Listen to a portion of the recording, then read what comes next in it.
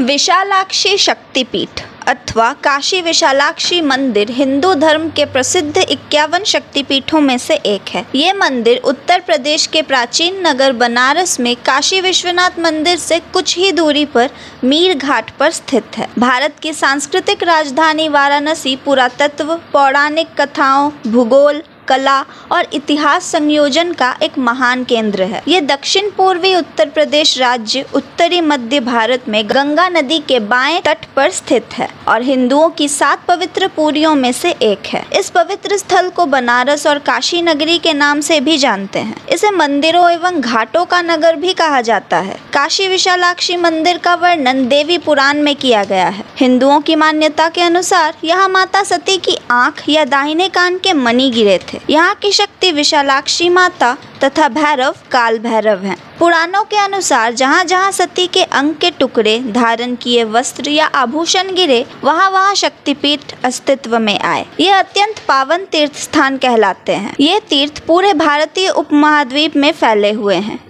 एक पौराणिक कथा के अनुसार यहाँ देवी सती की आँख या दाहिने कान के मणि गिरने के कारण इस जगह को मणिकर्णिका घाट भी कहते हैं। वैसे कहा यह भी जाता है कि जब भगवान शिव वियोगी होकर सती के मृत शरीर को अपने कंधे पर रखकर इधर उधर घूम रहे थे, तब भगवती का कर्ण कुंडल इसी स्थान पर गिरा था। एक अन्य कथा के अनुसार माँ अन्नपूर्णा, जिनके आशीर्वाद से संसार के समस्त जीव भोजन प्राप्त करते हैं, वे ही विशालाक्षी हैं।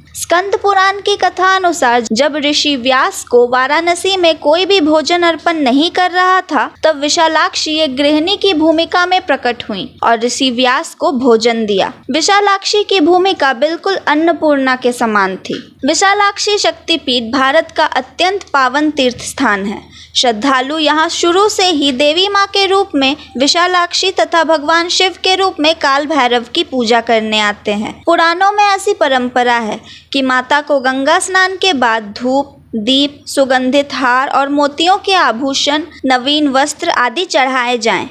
दुर्गा पूजा के समय हर साल लाखों श्रद्धालु इस शक्तिपीठ के दर्शन करने के लिए आते हैं। देवी विशालाक्षी की पूजा उपासना से सौंदर्य और धन की प्राप्ति होती है। यहाँ दान, जप और यज्ञ करने पर मुक्ति प्राप्त होती है। ऐसी मान्यता है कि यदि यहाँ इकतालीस मंगलवार कुमकुम का प्रसाद चढ़ाया जाए तो इससे देवी माँ प्रसन्न होकर भक्त की झोली भर देती हैं। वाराणसी के मीरघाट मोहल्ले में स्थित इस शक्तिपीठ में भक्तों को माँ विशालाक्षी की दो प्रतिमाओं के दर्शन करने को मिलते हैं। माता की दो मूर्तियों में एक पुरानी और एक नई है।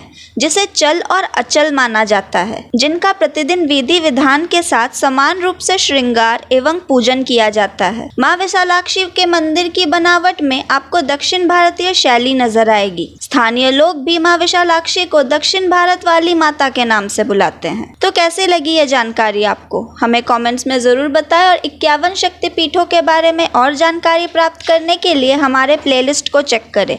और पाए हर एक शक्तिपीठ के बारे में पूरी जानकारी। तब तक के लिए देखते रहें धर्म संवाद। मैथी तमिश्री धन्यवाद।